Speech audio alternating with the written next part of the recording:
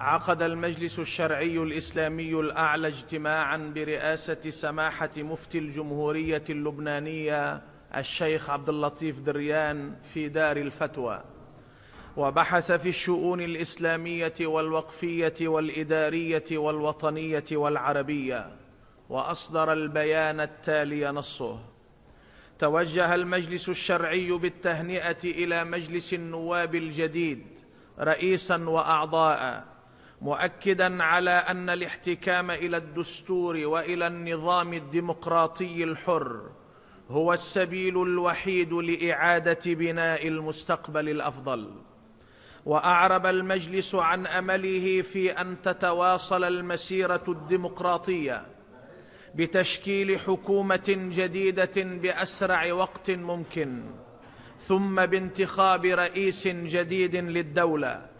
ليكون ذلك بداية لمرحلة إصلاحية جديدة تطوي صفحات الفساد والنهب وسوء الأمانة وتفتح صفحة جديدة من العمل الوطني المخلص المترفع عن الأنانيات والمحسوبيات والولاءات الخارجية والمتعفف عن المال الحرام والمصالح الشخصية.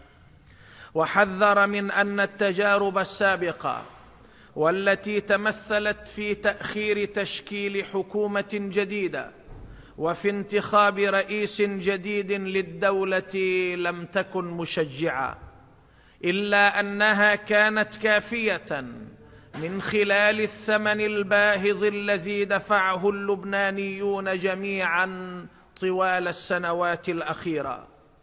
للعمل معا على تجنب الوقوع في الخطأ في الخطأ المأساوي والمدمر مرة جديدة. ورأى المجلس الشرعي أن النهوض بلبنان من جديد مهمة وطنية جامعة تتطلب حشد القوى الوطنية حول مشروع استنهاضي يخرج لبنان من حفرة الفشل التي ألقي فيها. مشروع يلتزم بالوحدة والسيادة وبالمصالح الوطنية الجامعة.